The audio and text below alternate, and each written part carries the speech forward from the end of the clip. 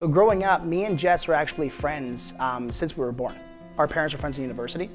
So when I was really young, I had the dream of being a professional baseball player when I was younger. So uh, I played baseball, was pretty good at it, and at 17, I ended up breaking my leg. So I couldn't play baseball anymore. So when I was in high school, I actually started working in the supplement industry, health and wellness industry. And it was kind of funny that it was fitting that she was working at a gym, I was working at a supplement store, and our dream of doing a store together was what we wanted to do.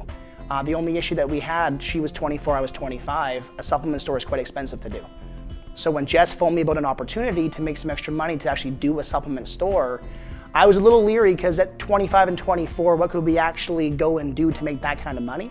But uh, you know, I kind of fought on the idea of seeing it, but when I sat down and looked at the information, I was so excited. My boss at my old supplement store taught me to find a way to have money working for you instead of you working for money um, to build your own franchise, build your own business, be your own boss. I just didn't know how to do it. So when I actually sat down and looked at FHTM, it was one of those things where I could do the exact same thing that he did, but with not a lot of overhead, none of the infrastructure, satellites, nothing like that. So I sat down and actually before the presentation was actually even over, I had the form filled out, ready to go with number one circles I wanted her top spot in her team. So.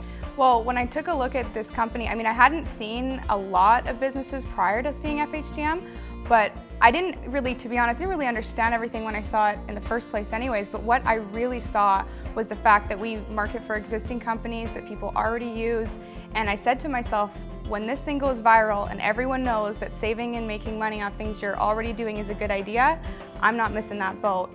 And so that's what I saw in FHTM.